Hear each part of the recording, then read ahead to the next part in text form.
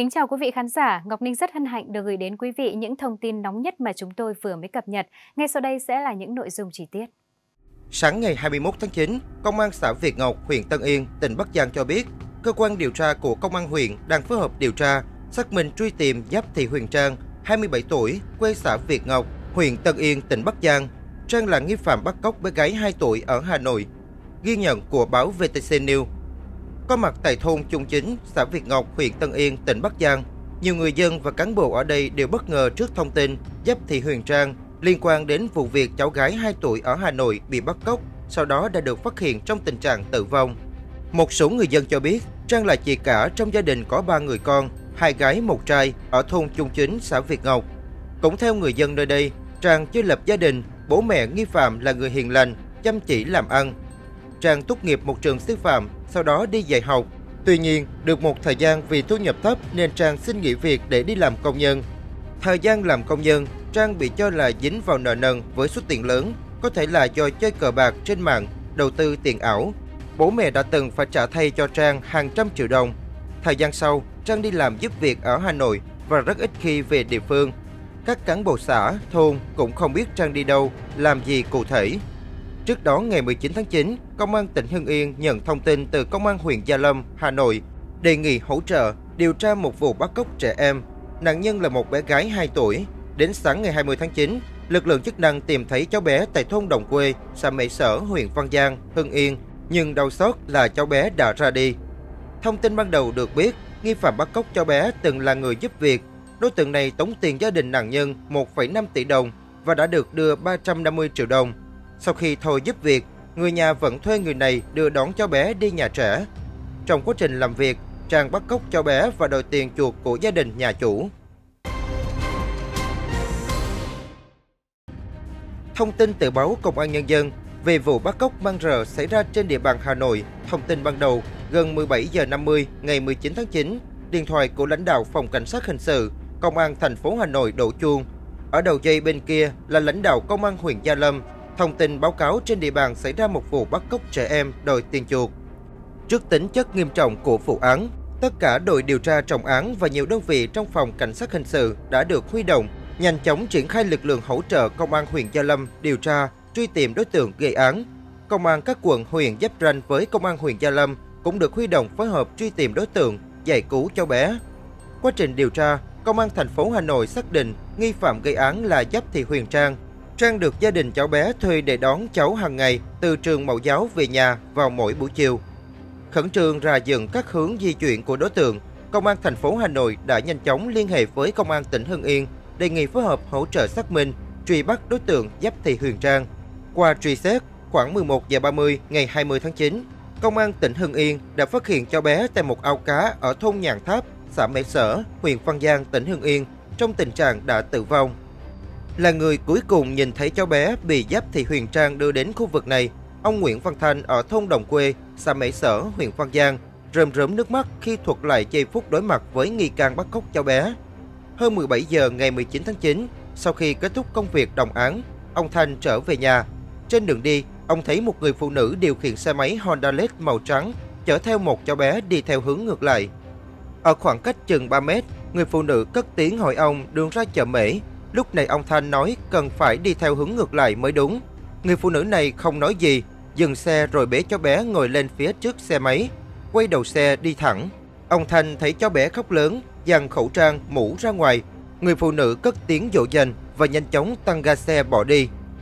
Sau khoảng vài chục mét đi cùng đường, ông Thanh rẽ sang một con đường khác để về nhà. Khi hay tin dữ xảy ra, ông Thanh không kìm được nước mắt tự dằn vặt bản thân đã không biết được sự việc để ngăn chặn khi gia đình cháu bé đến hiện trường vụ án mạng, ông Thanh đã cùng với gia đình làm các thủ tục theo phong tục cho cháu bé. Trở lại với quá trình điều tra vụ án, qua điều tra, Công an thành phố Hà Nội xác định vào khoảng 17 giờ 04 phút, đối tượng mặc áo chống nắng, đeo khẩu trang, đội mũ, điều khiển xe máy đi đến trường học của cháu bé để đón cháu.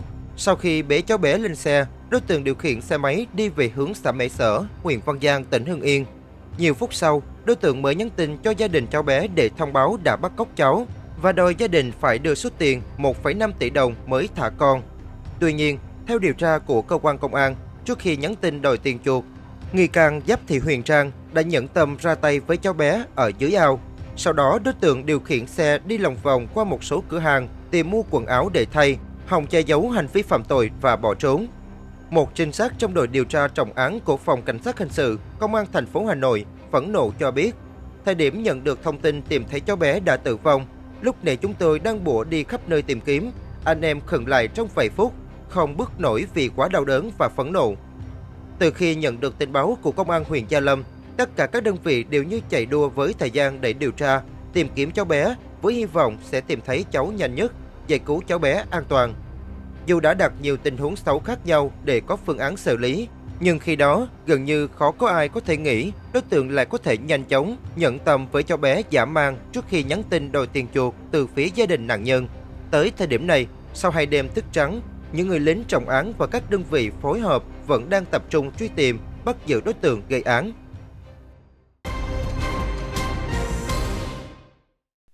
Theo thông tin từ báo Lao động, sau khi Công an thành phố Hà Nội thông tin về đối tượng bắt cóc trẻ em là Nguyễn Đức Trung, sinh năm 1992, ở thôn Hòa Thịnh, xã Đồng Tĩnh, huyện Tam Dương, tỉnh Vĩnh Phúc, người dân địa phương ai cũng bàng hoàng, sừng sốt. Ông Nguyễn Kim Trọng, trưởng thôn Hòa Thịnh cho biết, gia đình Nguyễn Đức Trung có hai anh em, Trung đã kết hôn và có con trai hơn một tuổi. Thỉnh thoảng từ nơi làm việc ở thành phố Vĩnh Yên về quê, Trung vẫn thường mua bánh kẹo cho các cháu nhỏ trong thôn.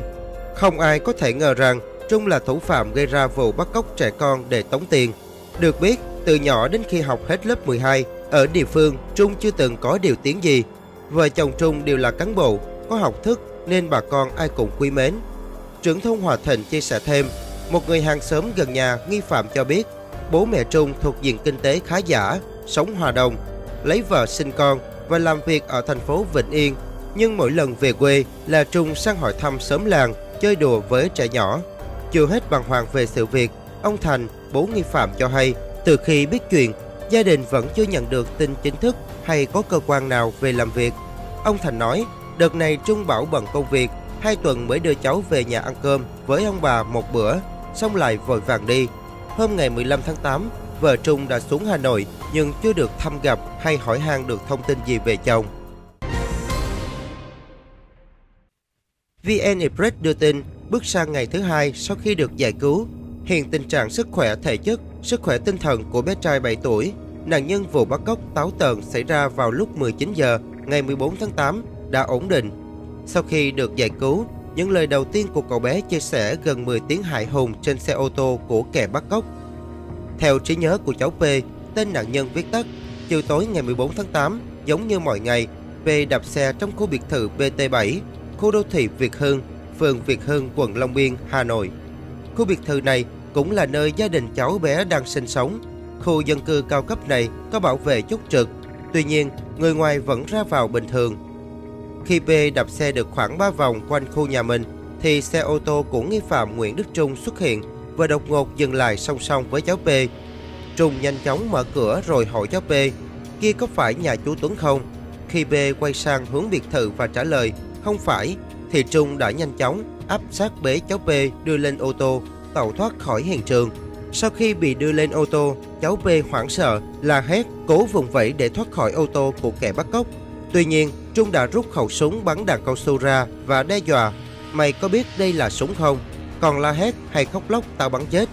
Sợ hãi nhưng P vẫn nghe lời kẻ bắt cóc và cung cấp cho hắn ta số điện thoại của mẹ. Khoảng 15 phút sau, cháu P cho biết Trung đã thực hiện liên tiếp 3 cuộc gọi điện thoại thông báo cho gia đình nạn nhân rằng Trung đang giữ con trai 7 tuổi của họ. Ban đầu mẹ cháu B chưa tin, tưởng ai đó trêu đùa. Tuy nhiên, sau khi nhờ hàng xóm check camera giám sát, gia đình cháu B mới bàng hoàng bởi biết tất cả diễn biến vụ bắt cóc đã được camera ghi lại.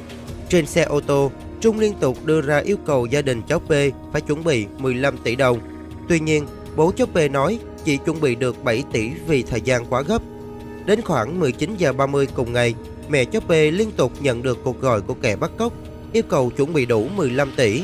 Trên xe ô tô Trung lạnh lùng, nhà mày không cần con mà chỉ cần tiền đúng không? Sau câu nói này, gia đình cháu P đã huy động vay mượn từ người thân, bạn bè thêm số tiền 300.000 đô la Mỹ để đáp ứng yêu cầu của Trung. Trên xe ô tô, cháu P bị Trung chở đi lòng vòng qua nhiều địa phương để tránh bị lực lượng chức năng truy bắt. Cháu P biết bản thân trong tình thế nguy hiểm, Vì trước đó đã được bố mẹ dạy khá kỹ kỹ năng sống, trong đó có cả tình huống bị người lạ bắt cóc. P ngoan ngoãn nghe theo lời của nghi phạm Trung. Tuy nhiên, khi được Trung cho ăn bánh mì, cháu P dứt khoát từ chối vì sợ bên trong có độc. Cháu P chỉ chịu uống nước từ chai nước suối mà Trung đã uống trước đó.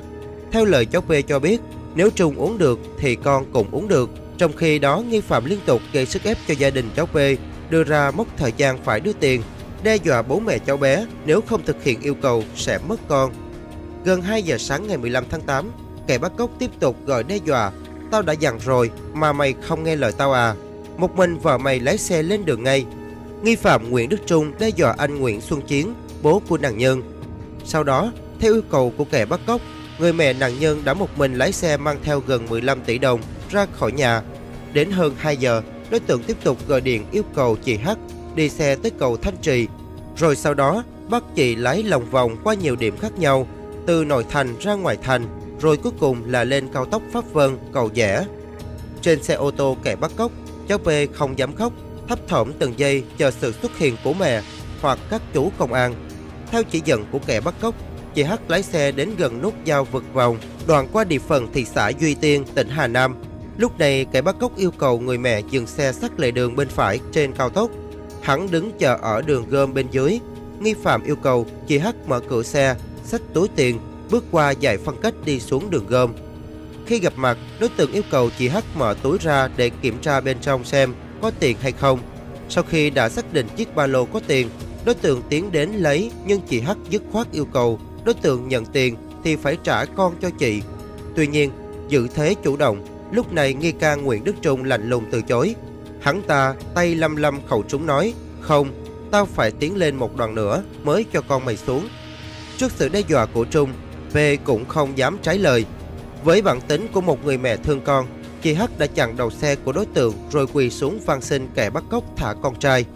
Chị H xác định giây phút đó nếu phải đánh đổi cả tính mạng của bản thân đi chăng nữa thì chị cũng phải cứu con mình cho bằng được. Mặc cho chị H van xin, đối tượng tiếp tục điều khiển ô tô di chuyển. Trước tình thế này, chị H đã nhảy lên nắp cabo đứng, khiến đối tượng buộc phải mở cửa sau, thả con trai chị H rồi đập ga bỏ trốn. Ngay sau đó, Trung bị lực lượng chức năng công an thành phố Hà Nội tiến hành áp sát vây bắt. Phát hiện bị lực lượng công an vây bắt, Trung đã chống trả quyết liệt, dùng súng bắn bị thương một cán bộ cảnh sát hình sự công an quận Long Biên về phía lực lượng chức năng. Dù nghi phạm đang bỏ chạy, nhưng vì sự an toàn của cháu bé, họ chưa hành động. Đến khoảng 5 giờ ngày 15 tháng 8, khi nhận thấy cháu bé đã an toàn, cảnh sát lập tức vây bắt tên tội phạm.